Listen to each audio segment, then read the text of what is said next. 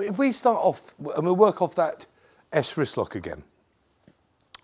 Uh, I'm not going to go into too much detail of this because we're going to cover it later, but um, where I angle my attack is going to be very, very uh, commensurate with the amount of pain that uh, my colleague is going to feel. So if I angle it into the first sort of quarter of the body, it works. Second quarter, it goes up a little bit more. Just relax, Steve. Into three, as you can see, it goes up further. And then four, you know, that, that's really as far as most people would want to go, I think, with it. And I'm putting it on gently. Now, if I then want to send that energy through his body into the back of his body, by circulating the energy, we'll see a completely different effect.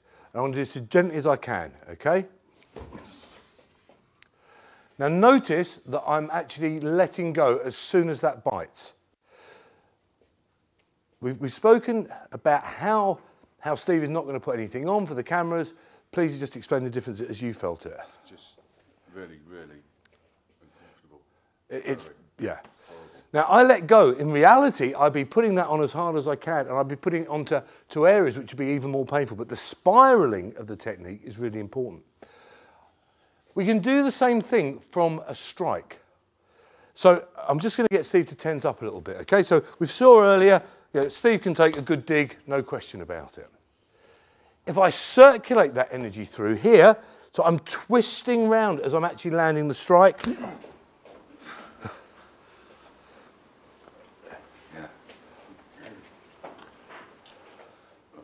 Yeah.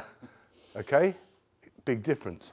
Now we're going to see see a street application for this a little bit later on, but just to show you, and I'll be very brief with this. Say someone's got me in a headlock here, okay? To try and take him away, I'm going to use that spiraling into the danger area here along the gallbladder meridian. And I'm just going to hit him, I'm just going to do it normally first, Steve, okay? So just brace.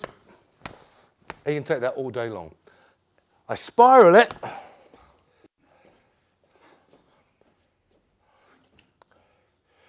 It goes up hugely. Now, please notice as well, I didn't put any of the other layers in. I didn't put any of the breathing in or the intent. It was just purely the circulation.